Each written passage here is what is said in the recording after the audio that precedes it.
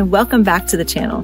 Today we're going to talk about a Texas icon, the armadillo, otherwise known as the Texas speed bump.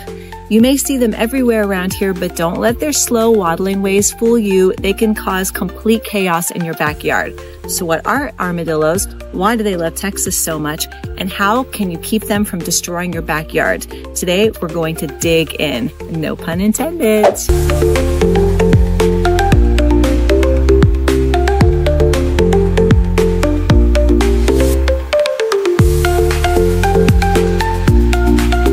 So, what is an armadillo? The armadillos are like small to medium sized mammals known for their distinctive armored shell. In Texas, we typically see the nine banded armadillos here. They are really notoriously slow, and despite their prehistoric look, they're really fragile. They're nocturnal, they have terrible eyesight, and they love to dig around your garden for insects and bugs, which is their main diet. Texas is a prime spot for armadillos. They really love the hot and humid environment, and you're mostly going to find them in areas of lots of high soil. So think about like forests or um, lots of field space, or unfortunately, your flower beds. So despite the fact that they are nocturnal and they don't see very well and they move really slow. They may seem harmless, but actually they can cause serious damage to your garden. Since they're digging for bugs and dirt and worms in your garden and in your flower beds, if they get too close to the structure, they can cause serious foundation problems, which is going to cost you a lot of money. So how do you know if you have an armadillo problem? Well, because they're nocturnal and unless you're up at those hours, you're probably not going to see them, but you may hear them outside your house, like the scratching, or usually when you're out in your flower bed, you're going to find little mounds of dirt or little holes. So I was on vacation and I wasn't in my flower bed for some time. So look what I came home to. Okay, so check out this hole I found in my garden. I obviously was gone for too long. You shouldn't leave it this big you know, this long. However, he has built himself a nice little, it's probably six inch deep hole and it goes pretty far back there. Look how deep that thing is. So hopefully he hasn't gone under my foundation already. All right, so now you've discovered you have armadillos. What do you do?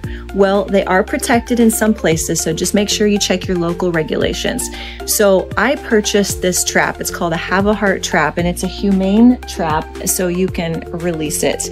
And I have created this little barrier. So you put this where they you find the holes or the uh, movement of the soil and because they can't see very well they're just going to kind of bounce off the barriers and go right into the trap and I found that this works the best way.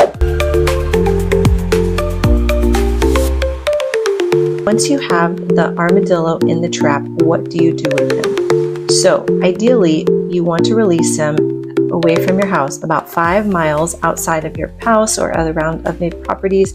So we took him to a park and here we are ready to release him.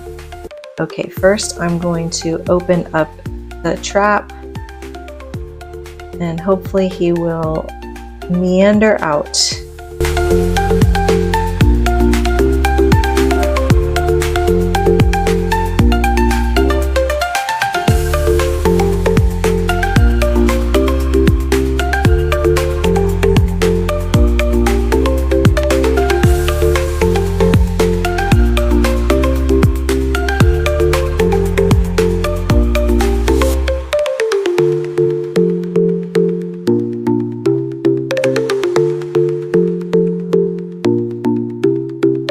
Okay, there you have it. Now you know how to confidently and humanely take care of your armadillo problem if you find yourself in this predicament.